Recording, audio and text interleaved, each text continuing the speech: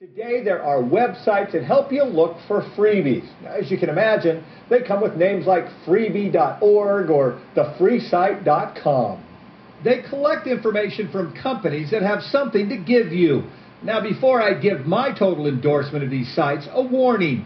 You have to read the fine print before accepting anything for free. Some sites, like freecreditreport.com, will give you a free credit report, all right, but at the same time, you're signing up for an expensive monthly service you probably don't need.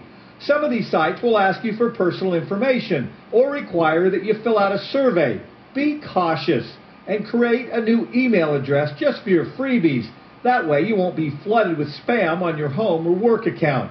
So, why would anyone want to give you free stuff? Usually, it's a manufacturer, a store, or business that wants to win you over as a customer or just wants to get their new product more exposure. So while they want you, you get free samples on things like makeup, shampoo, popcorn, and books.